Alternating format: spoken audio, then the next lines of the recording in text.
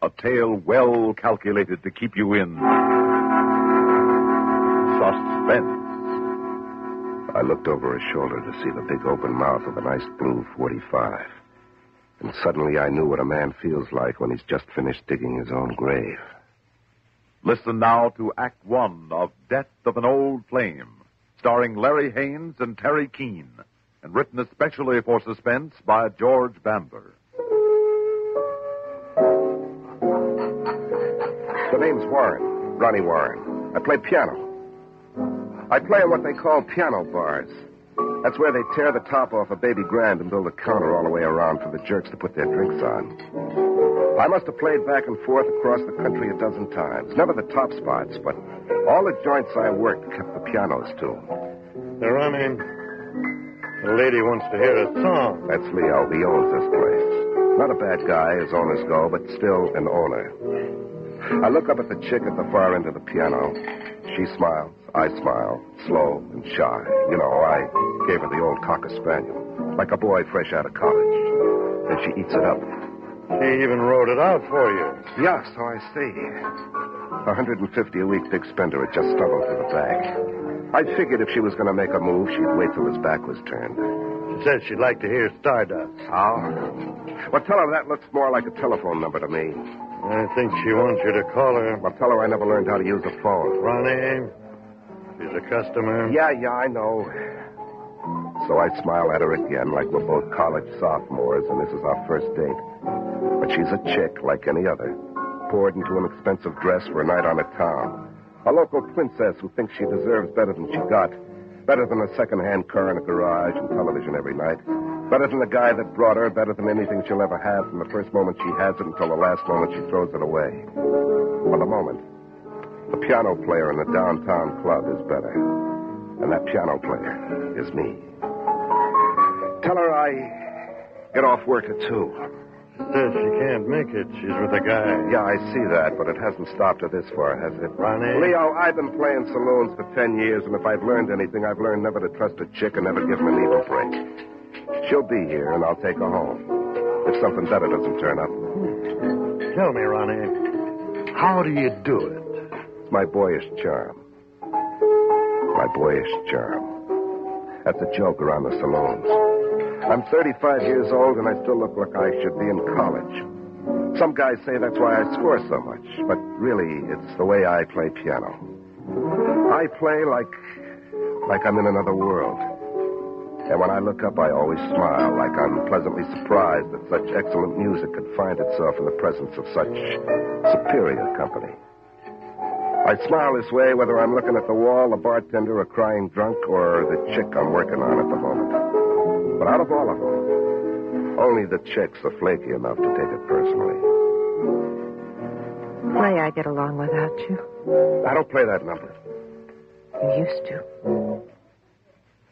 I hadn't seen her come in. And I swung around to see what the voice told me I would find. The eyes were still incredible. So deep and brilliantly blue that you had to look twice to believe what you saw.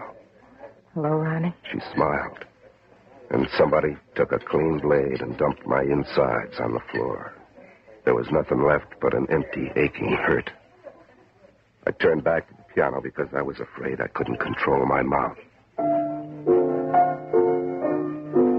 Hello, Anna. Mind if I sit down? No, no, go right ahead. Haven't seen you around the pool in a long time. Five and a half years, to be exact. I didn't keep track. Will you buy me a drink? I don't buy drinks for customers. She sat like she was suddenly very tired, and she toyed with her gloves for a moment the way she used to. Her mouth was as I remembered it, and her hair still soft and natural gold. But then I noticed there was a hole in one of the fingers of her white cotton gloves, and her dress was last year's style. I signaled the bartender to buy her a drink. Thanks. I read in the paper you were playing here. I, I kept track of you, where you'd been, when you'd hit town. Yeah, well, I would have kept in touch, but when I got back that night, all I could find was an empty hotel room. You didn't leave much of a forwarding address. Ronnie, I know I. I know it was wrong. I've been sorry a million times. The paper never said. Did you marry again? When the man said until death do you part, I figured he wouldn't have bothered to say it if he hadn't meant it. Besides, it came in handy. When a chick would scream, marry me, I'd just say, oh, baby, I'd love to, but I'm already married. Saved me a lot of scenes. How about you? No.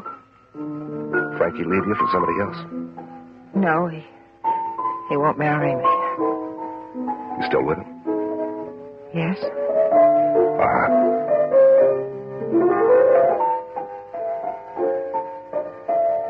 Ronnie, Hmm. Play our song. Now, you heard me before. I don't play that Ronnie, song. please. I haven't heard it in so long. Well, I forgot how it goes. I don't believe that. Please. Just once more for old time's sake.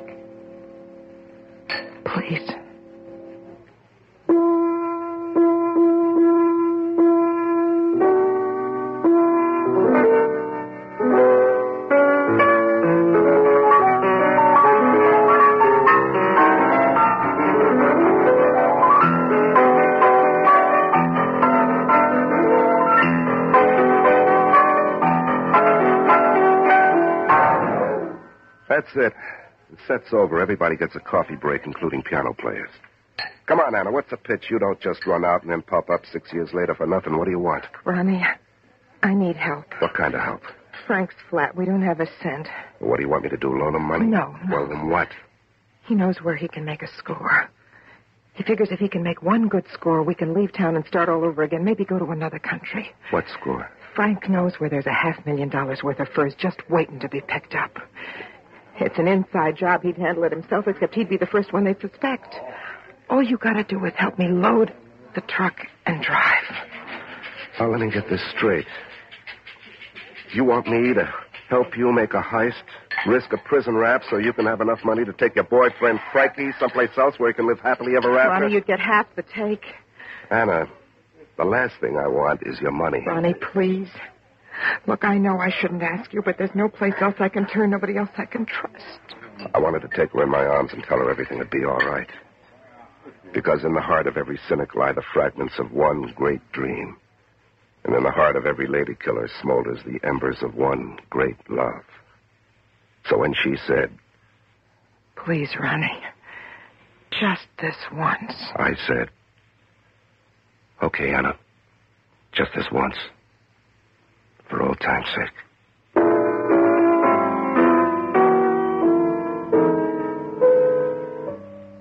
When I got to work the next night, I talked to Leo. Boss man, look, I, uh, I have some business from 10 till 12 tonight. I'd, uh, I'd like out. Huh?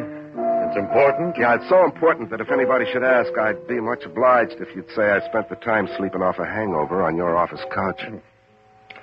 Okay. But let me give you a little piece of advice. Like? Like, I don't want to know. But if this important business has anything to do with that broad I saw you talking to last night, I'd watch my step. Why? That's Frankie Amato's girl. He's one of the worst rats in this town. I know. Okay, so you know. But watch yourself. When 10 o'clock came, I left the piano and slipped out the back way to a truck marked Royal Furs. Anna was sitting inside waiting. Hi, Ronnie. She drove us across town into the back of a small shop. No one was in the alley, so she got out and opened the overhead garage door with a key while I backed the truck inside. She closed the door behind us and locked it. The furs are inside this cold storage vault. She slid back the heavy door and started stripping the hangers. It didn't take long because there weren't too many pieces. I don't know anything about furs, but I do know that what we took wasn't worth any half a million dollars. Finally, the truck was loaded and we were ready to go. But then she started pouring cleaning fluid out of cans. Look, help me spread this stuff around, huh? What for? So we can set fire to the place. Why? So we can destroy it. Frank says we have to set fire to the place to burn all the evidence. Look, you didn't mention anything about a fire before. Ronnie, I didn't because I was afraid you wouldn't go through with it if I did. Well, of course I wouldn't. Taking a few furs is one thing, but arson is something else. Somebody could get killed. We have to. Right now, Frank is playing cards with the guy that owns this place. We have to fix his alibi with the time of the fire. Oh. Oh, I see. All that matters is Frank and his alibi, huh? All that matters is that Frank is safe. That he's got somebody to steal for him, to lie for him, and for what? What does he do for you, Anna? Answer me. What does he do for you? Please. Come on, answer me. What does he do for you? Nothing. Then what do you stay with him for? You happy being turned into a two-bit thief to do his dirty work for him, and for what? To lick his boots in gratitude? Are you happy, Anna? No. Then why, Anna? Why?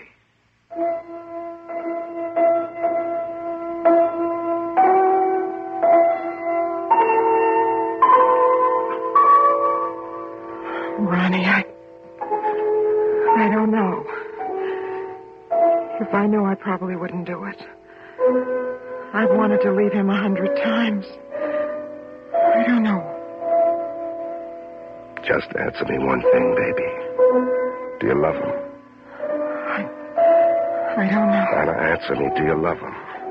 No. I love you. Ronnie, please. I never stopped, Anna. Every town I hit, every place I went, I walked the places we used to walk and listened to the songs we used to Ronnie, sing. please don't. You don't need this, Anna. Put it down. We could cut out of here, leave this town, and never come back. No. We could start all over again, right from the very beginning, Anna. Make it like it was before, only better, a hundred times better. please, no. Look, we. We can't talk about it now. There isn't any time. Help me finish this, and then. Then we can go to some place and talk about it. No. Ronnie, please. We've got to get out of here. No, no. Help me do this, and I'll never ask you for another thing as long as I live. No, Anna. please. Ronnie, please.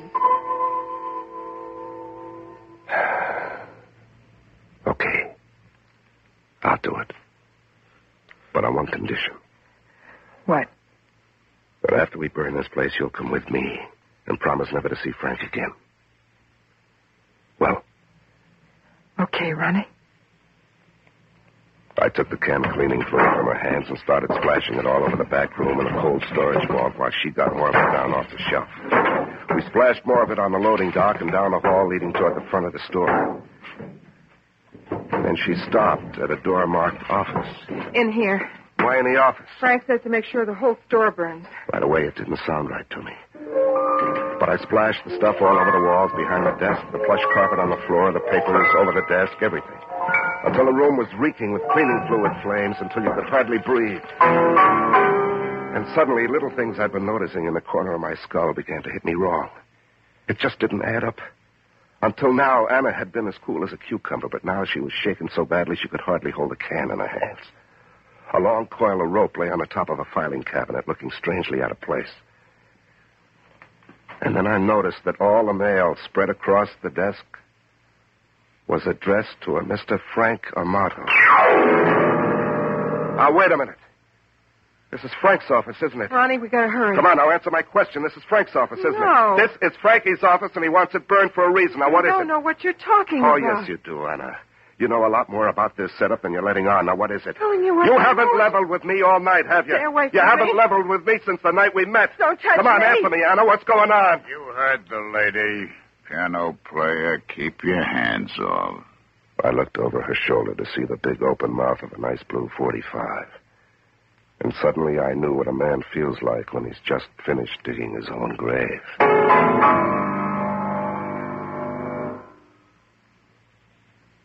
In a moment, we'll return with Act Two of Suspense. Now, from DuPont comes the most advanced antifreeze and summer coolant ever developed for any car, new or old. Its name? Telar. T-E-L-A-R. Telar. It takes one and a half gallons of Telar to protect the average full-size car down to zero. And at its new low price, your dealer can protect your car with Telar for only about a dollar more than ordinary antifreezes, even less for compact cars. But, and this is important, once installed, DuPont Telar can be left in all year round, summer and winter, for as long as you keep your car. Any car, new or old. Your servicing dealer will tell you exactly why this is possible. In addition, Telar is specially recommended for modern aluminum engines. So ask your servicing dealer to install Telar antifreeze and summer coolant in your car. Remember, it's made by DuPont. Telar. T-E-L-A-R. Telar. That's right, college boy. Keep your hands over your head. No one ever introduced us, but I'd say offhand you're Frank. And you're bright, college boy, real bright. Now, look, if this is a shakedown, I'm afraid you got the wrong party. I'm broke. Oh, this isn't penny ante stuff. I'm going after. This is money, big money. Well, pardon my density, but I still don't get it. You've heard of insurance, haven't you, college boy? Oh, sure, sure. But I don't see how you can collect on a store you don't own. Or do you? I don't own the store. I don't have that kind of change at present. So I insured myself. Alive, I'm not worth two cents, but dead, I'm worth fifty grand. That's quite a piece of change, and Anna here is my only beneficiary. Oh. Well, I don't know how this figures me. Unless you want me to help you commit suicide. Oh, suicides don't collect. Besides, I wouldn't die for any broad. That's strictly for suckers like you. Okay, I've been a sucker up until now, but I don't think I can make this gig anymore, man. Nobody's going to commit suicide. I'm going to be murdered. Well, like I said, I still don't get it. I guess you ain't as bright as I thought. I told the owner of the store I was going to work late tonight, go over the books. The police will think I accidentally left the door unlocked. Somebody found it open, came in, tied me to my chair, stole all the furs, then burned the store to destroy the evidence. Now, wait a minute. In the minute. meantime, I'll be on my way to Mexico, where Anna will join me after she's had sufficient time to recover from her grief and collected the insurance money. Well, there's only one thing wrong with that little plan, Frankie. Nobody would ever confuse me with you, not in a million years. Oh, I don't know. We're about the same height and build. You ever seen what a man looks like after he's been soaked with cleaning fluid and touched off with a match? I'm betting there's not much more than a crisp char to compare anything with. You always wanted to take my place, college boy? Sit down in my chair behind the desk and turn around and face the wall. I did as I was told. There wasn't much else I could do. But before I did, I took one last look at Anna. She couldn't face me. Hold the gun on him, Anna, while I tie him up. He even looks like he's going to move, let him have it. Since I was as good as dead anyway, I knew that anything I did would be the right thing. They say that a man who's about to die starts praying. I didn't. I started thinking hard and fast because I wanted so badly to go on living. I don't look like I could punch my way out of a paper bag, but while I was waiting out the Army's boredom in Japan, a gentle old Japanese man taught me you don't need brawn to defend yourself, just brains and speed. And a thing called karate. Piano player's best friend. You don't hurt your hands. And I knew I had to have something to defend myself against husbands and boyfriends. So I learned karate and the art of timing and surprise. I waited until I could feel him touch my arm. And when he slid his hand down to my wrist, I made my move. I grabbed two of his fingers and heard them snap as I bent them back. Ah!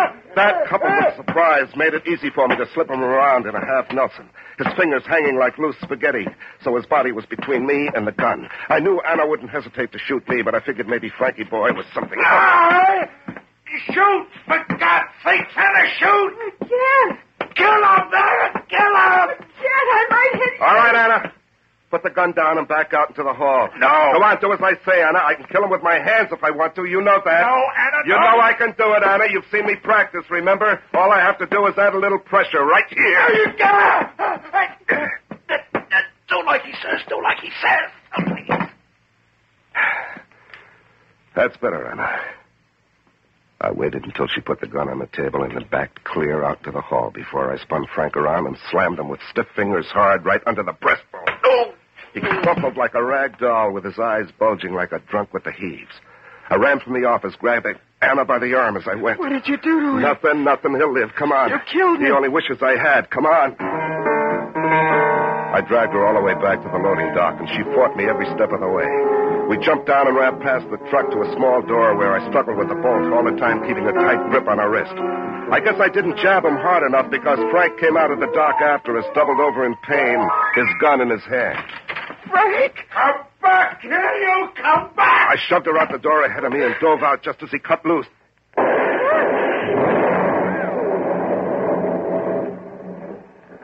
The shots were like matches in a gas tank.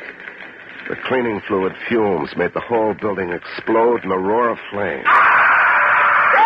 Come on, let's get out of here. Oh, we can't leave him. He'll burn alive. Can't help him, Anna. It's Robbie, too let me go to Anna, you can't go in there. Frank, I got it. Anna, no. Anna, come back. Anna!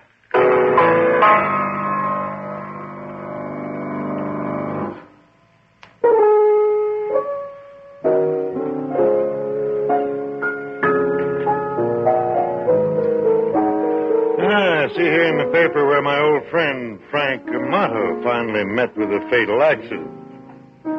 He burned to death. Ah, that's so? It happened last night. I don't guess you'd know anything about it, would you? Uh, no, no. I don't guess I would. I didn't think so. The way the cops figured it, he was trying to rob the place where he worked, and then burn the store to cover his tracks.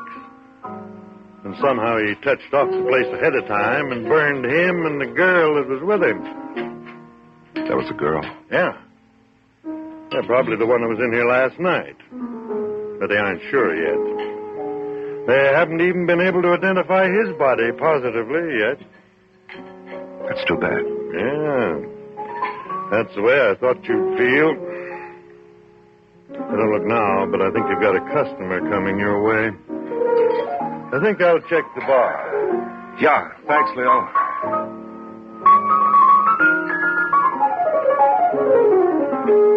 I knew what was coming.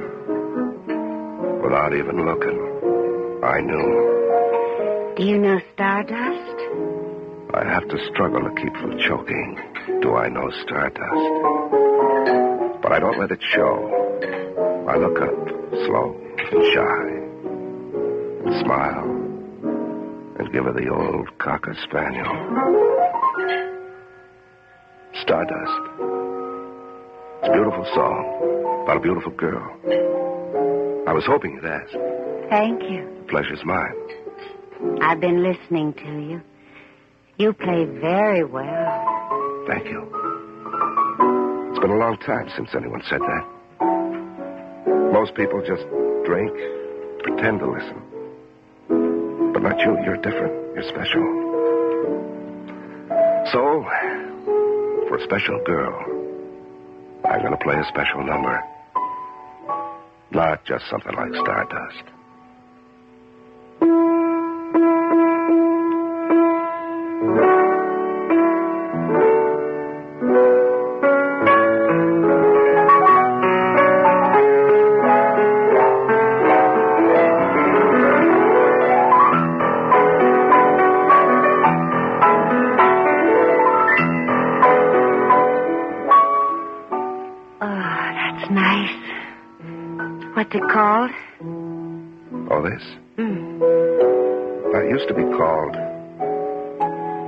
I Get Along Without You Very Well. But from now on,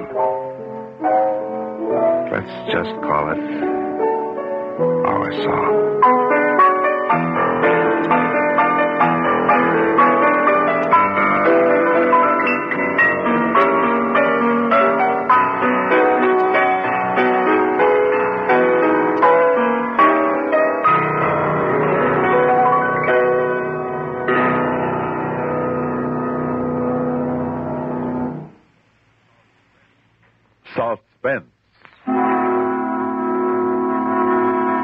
Listening to Death of an Old Flame, starring Larry Haines and Teri Keane, and written especially for Suspense by George Bamber.